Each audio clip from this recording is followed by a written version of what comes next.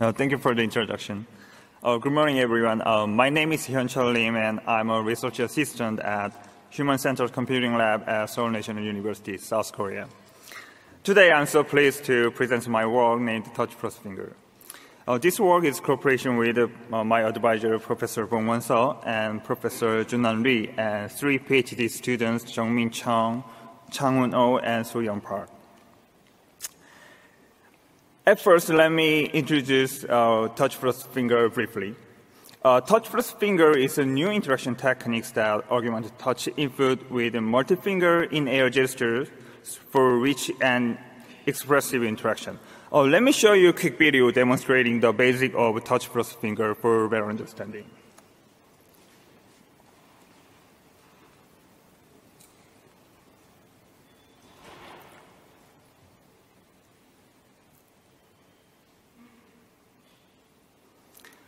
As you, as you see in the video, the main idea of touch plus finger is to use idle fingers. Uh, what I mean is that the when one, one primary finger is engaged in touch interaction, uh, the rest of the secondary finger are in idle states. Uh, so we call them idle fingers. Uh, since they are able to move, a user can use this idle finger to add modality and expressiveness to the primary touch interaction.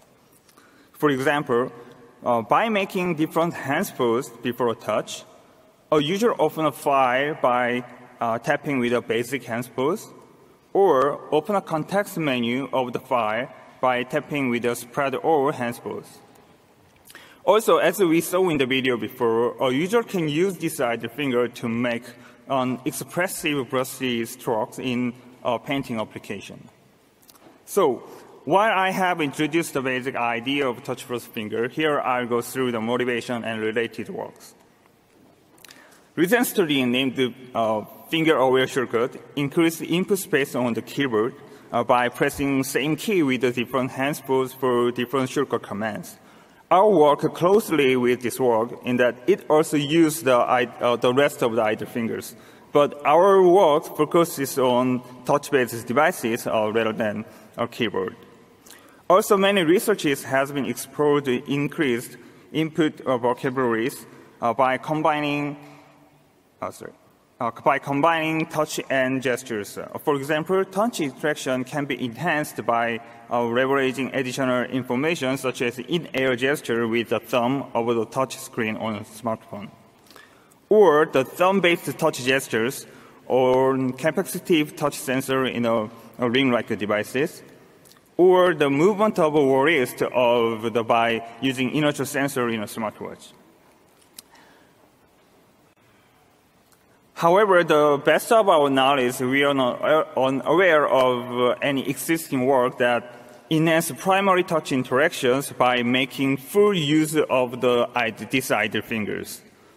So, our goal of this research is to explore how the rest of the idle finger can be used as additional input source for uh, enhancing the primary touch interaction.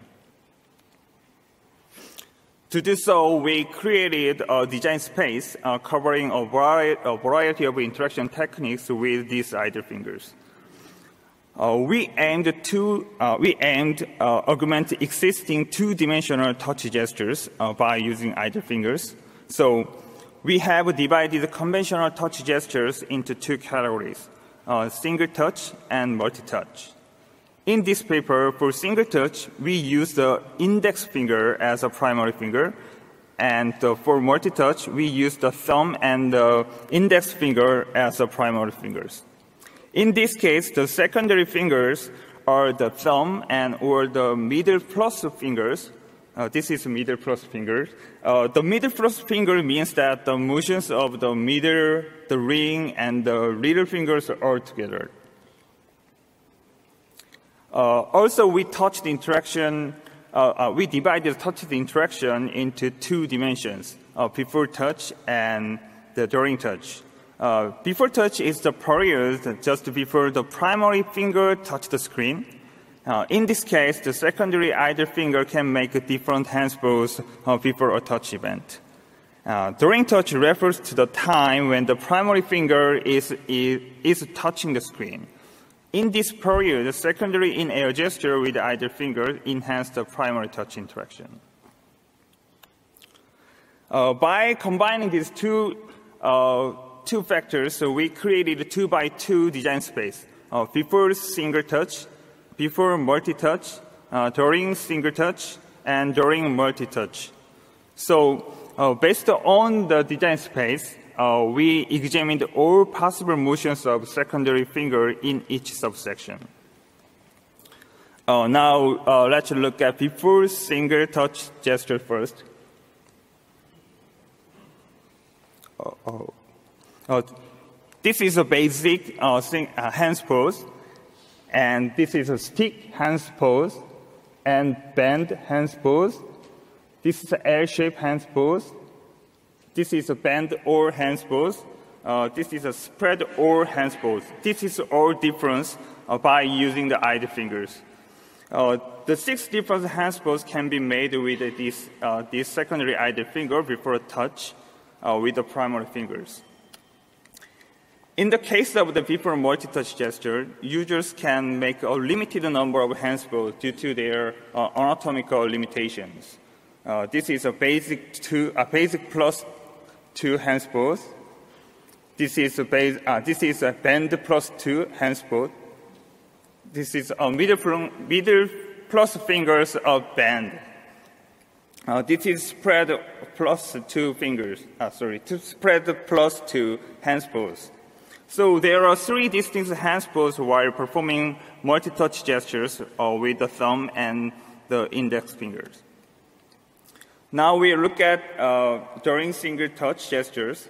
In this case, uh, let me give you a video demonstrating each in-air gestures.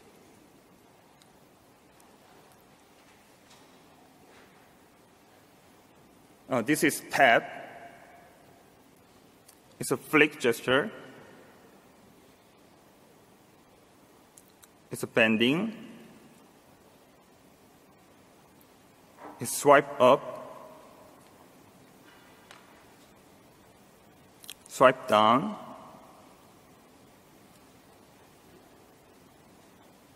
bending plus, flick plus, bending or, flick or,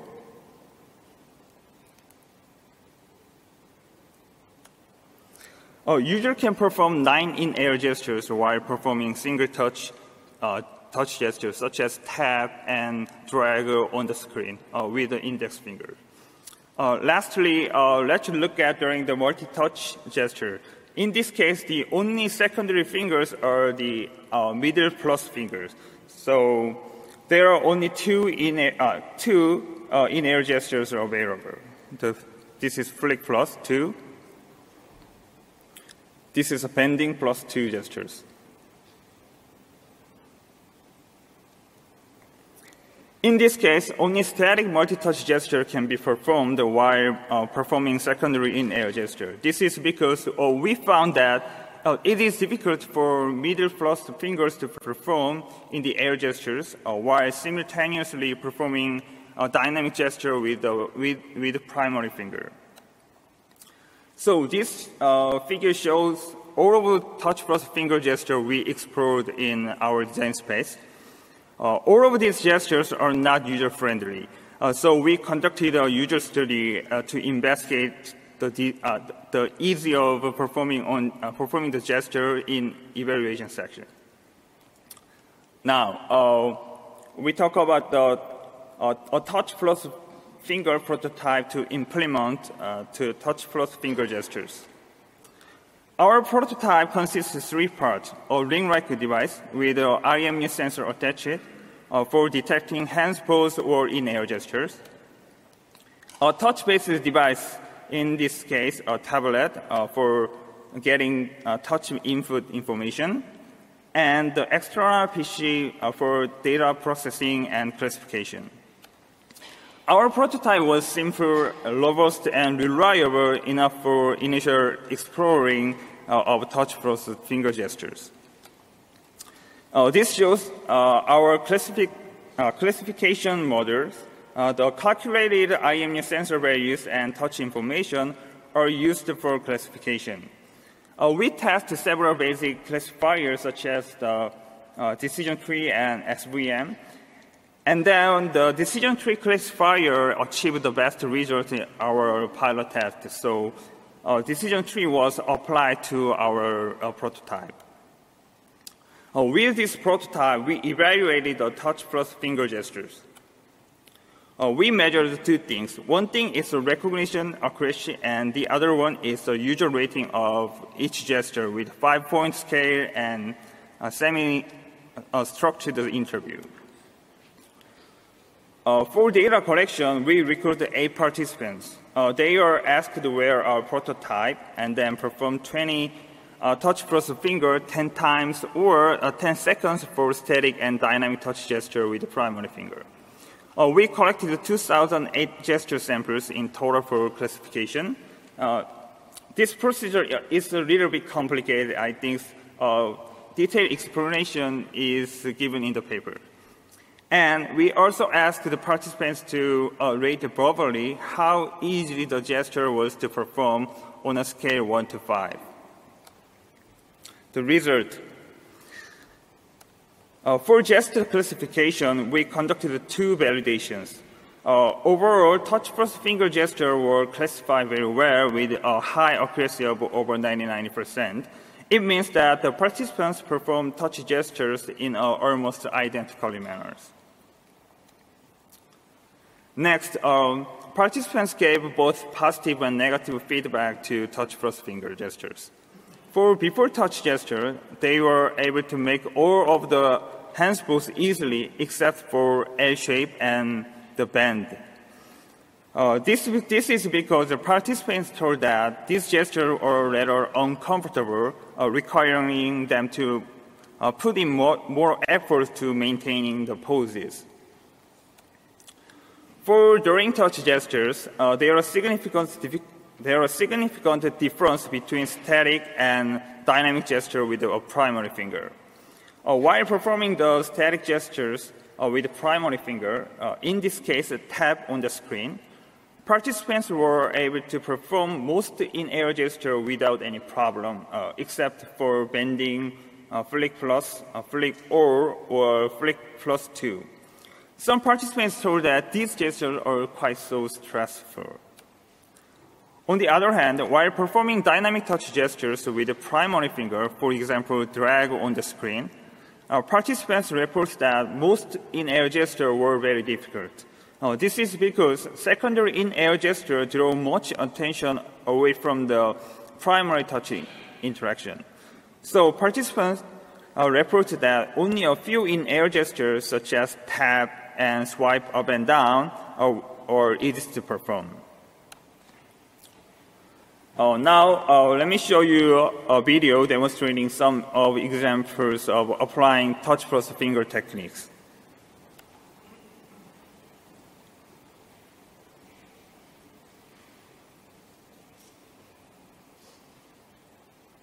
This is a freeform line with a basic hand pose, and a strict line with a stick hand pose. Uh, also, a curved line with a spread or handspur. So uh, we can fluid switch between interaction mode and uh, a drawing application.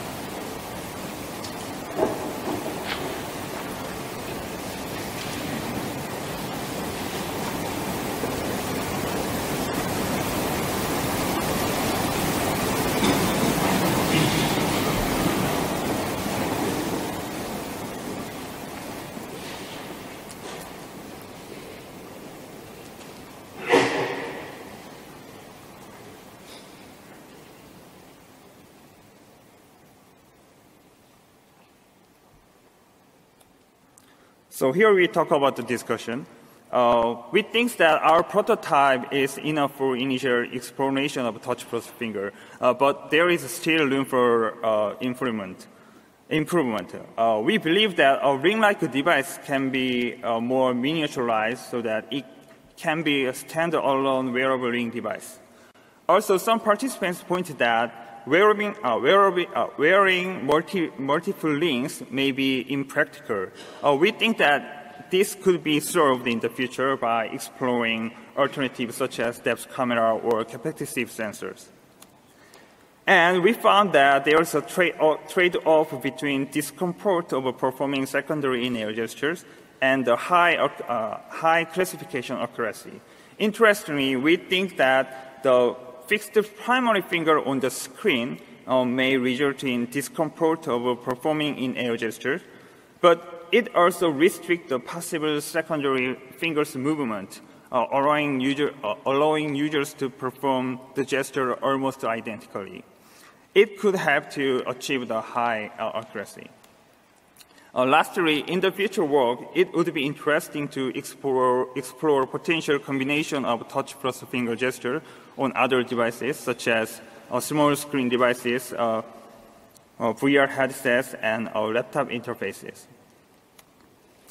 So uh, we conclude that uh, by using idle fingers as additional input source for primary touch interaction, uh, we can enhance the touch interaction in various ways we explored. Uh, thank you for the listening, and I'm happy to take your answer, uh, questions.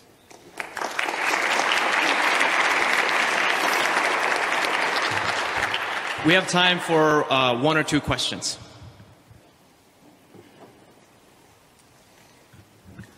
Hi, Dan Ashbrook, University of Copenhagen. Um, with the, the two accelerometers, the two IMUs, can you um, ignore the angle of the hand, or do you have to always be in one hand position? Uh, actually, in our uh, experiment, uh, we did ignore the angle of the uh, angle of the uh, pitch and roll mm-hmm. values. Uh, this this is because we just uh, we just conducted conducted uh, our uh, user studies uh, in our uh, controlled controlled lab right. environment. So, so do you think that this would work while walking? Uh, actually, we our work is to focus on the exploring the gestures. Uh-huh. so I think that could be addressed in the future work. Mm-hmm. I think. Okay. Yeah. Thank you. Thanks.